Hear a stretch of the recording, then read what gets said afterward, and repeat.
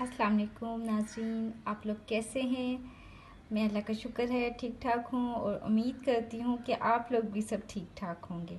आज मैं आपको ईद स्पेशल शामी कबाब बनाना सिखाती हूँ।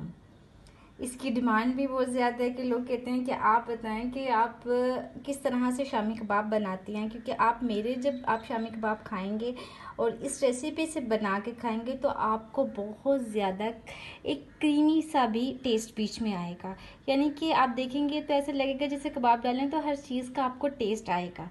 उसकी कुछ एक मैजिक इसमें कुछ एक दो इंग्रेडिएंट्स मैं डालूँगी वो मैं आपको बताऊँगी कि इसकी वजह से इसका टेस्ट बहुत ज़्यादा इन्हेंस होता है।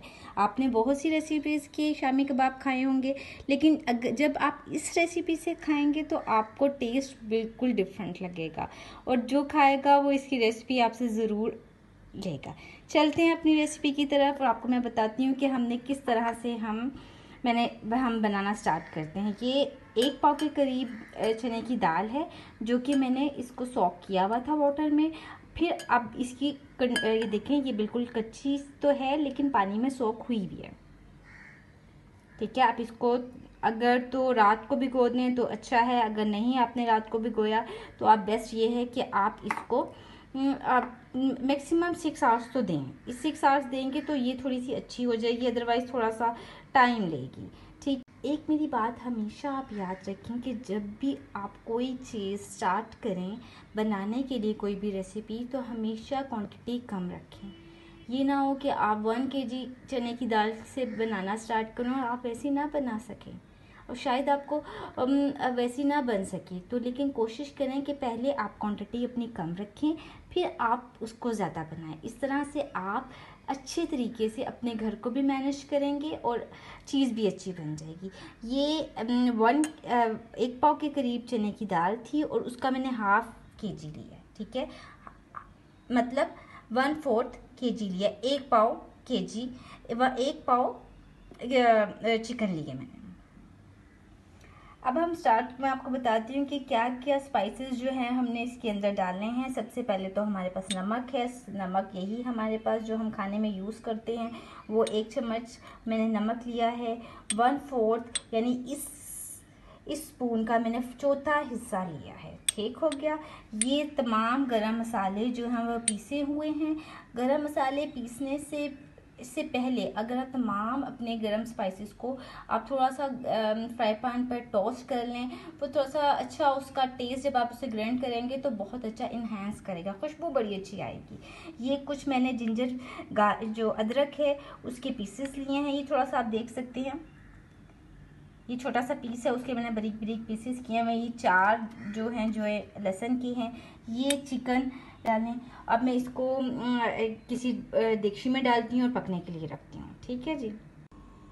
अच्छा अब ये देखिए मैंने सारे इंग्रेडिएंट्स जो हैं, वो सारे इसके अंदर सब कुछ स्पाइसेस के साथ डाल दिया हुआ है। और आपने एक चीज़ नोट रख करनी है कि पानी, ये ना हो कि आप देगची भर के पानी रख दें।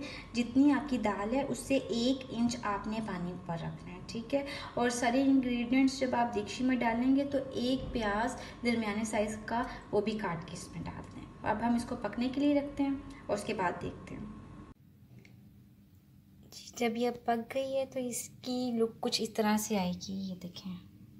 ये बिल्कुल पक चुकी है और सब इंग्रेडिएंट्स इसके अंदर डल चुके हैं। अब मोस्ट इंपॉर्टेंट थिंग्स कि अब ये तीन चीज़ें आपको नज़र आ रही हैं। ये देखें, ये स्प्रिंग ऑनियन है, हरी प्याज, एक एक एक या दो ले लें, दो ले लें आप। वो बारीक बारीक चॉप कर लें। और ये पुदीना है, ये भी थोड़ा सा आप डाल लें जितना कि ये है। वो आप बारीक बारीक काट लें। ये एक अदद हरी मिर्च है जो कि मैंने काट ली है बारीक बारीक अब इन सब चीज़ों को मैं चॉपर में मिक्स कर लूँगी। चॉपर में मिक्स करते हैं, उसके बाद देखते हैं क्या होता है। जी, इसकी ये चॉप करने के बाद, मिक्स करने के बाद कुछ फाइनल लुक इस तरह से आई है। अब मैं आपको बताती हूँ कि जो वीडियो में मैंने बताया था, जिसकी वजह से कुछ ऐसे इंग्रेडिएंट्स हैं, कुछ ऐसी चीज़ें हैं जो कि आप अपने कबाब में डालेंगे तो आपके कबाब का जो टेस्ट आप जब खाएँगे तो वो बहुत क्रीमी सा आएगा और जो खाएगा, वो दोबारा आपसे रेसिपी ज़रूर पूछेगा। तो वो इंग्रेडिएंट्स क्या हैं, ये देखें।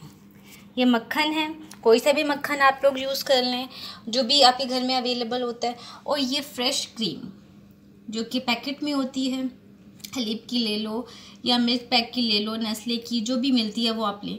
ये दोनों इंग्रेडिएंट्स जब आप इसमें मिक्स करेंगे और उसके बाद कबाब फ्राई करेंगे तो कबाब बहुत मज़े के लगेंगे। ओके नाजीन अल्लाह हाफिज़। मिलते हैं जी। अभी मैं आपको वैसे इसकी लुक लास्ट में बताती हूँ, कबाब बनाने के बाद कैसे बनती है। ठीक है जी। कबाब हैं, देखें, शामी कबाब और इनको मैंने बना लिया हुआ है छोटी छोटी सी टिक्कियाँ, जितने साइज़ की आपको पसंद है, मुझे इतने साइज़ की पसंद है, और वो मैंने बना ली हैं। अब आप इसको एग के साथ फ्राई करें।